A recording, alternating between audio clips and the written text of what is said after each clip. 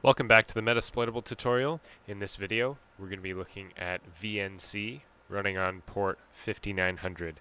This is a very simple one. Go ahead and see if you can figure out now and pause the video.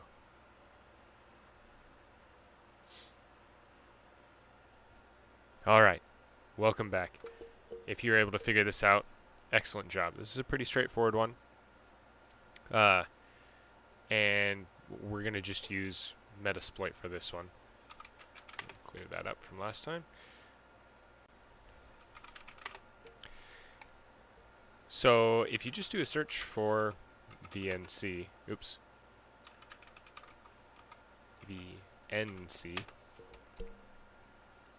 we come up with all sorts of uh, different ones in here. But the one that we are going to use we're going to check out this auxiliary scanner VNC login.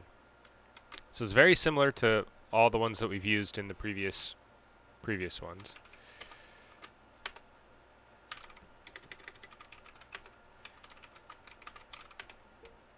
we show, yeah, it's, it's basically the same options as before. So our port is already set correctly. Go ahead and set our hosts to our Metasploitable machine. And let's set uh, username as root because that's what we want to log in as. Oh, and I guess I should explain VNC, if you didn't figure it out from your research, is a remote control software similar to SSH or TeamViewer or anything. It basically it allows you to uh, control another computer remotely, which is you know kind of what we want to do. So we'll go ahead and uh, just set the username as root. The pass file, it already gives us a default one, VNC password. So this is probably, this probably contains a lot of common VNC passwords. Well, let's go ahead and run this, see what we come up with.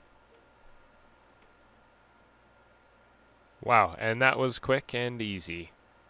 We have a login successful, username root, password password. So let's see if we can use that. Go ahead and use a VNC viewer. And we'll point it towards our Metasploitable machine. It's asking for a password, which is password. And there we go. It looks like uh, we are root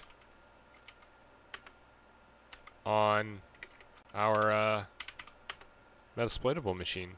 And yeah, has the correct IP address and everything. So, it's a very simple one. Uh, thanks for watching, and we'll see you in the next one.